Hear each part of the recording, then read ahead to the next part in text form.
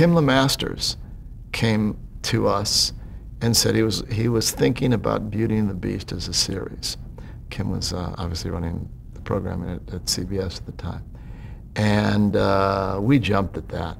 We love that idea. They do that a lot. The network execs they kind of float that idea out to several people, and and uh, you know they're they're the the companies that they like to work with, and somebody comes back or doesn't come back with it. Kim knew our long form stuff. We had done a lot of dramatic long form between Spelling Goldberg stuff and our stuff at Danny Thomas Productions. We had done like 15, 17 movies for television.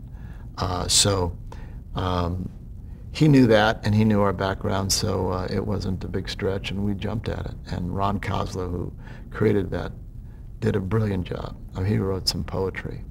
And we, uh, we got very lucky uh, with our cinematographer and, and others uh, uh, to really create a whole world of, uh, of mystery and, and that hadn't been on television before. Linda Hamilton and Ron Perlman? Well, Ron, you know, was, first of all, he's a very good actor, Shakespearean trained and everything.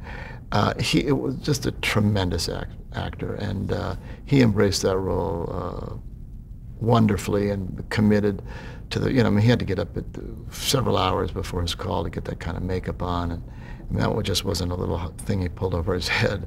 I mean, that was a, lot of trouble. And uh, he loved the part, and we loved it. And, and uh, he just sold it. You looked into his eyes, and there was no, there was no beast. There was, there was a, a man you wanted to, to embrace and care for.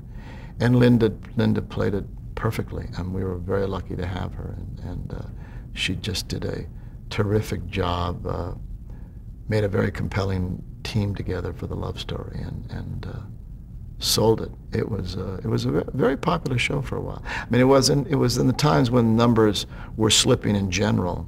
You know, when a 20-something uh, share was a good good solid audience, which is what we were getting, and uh, and had a very loyal following. I think there's still a loyal following. I mean, there there are tons of uh, of uh, sites on the internet about Beauty and the Beast, or several sites, I should say. And uh, I, I believe they still have conventions. So we have our little cult following.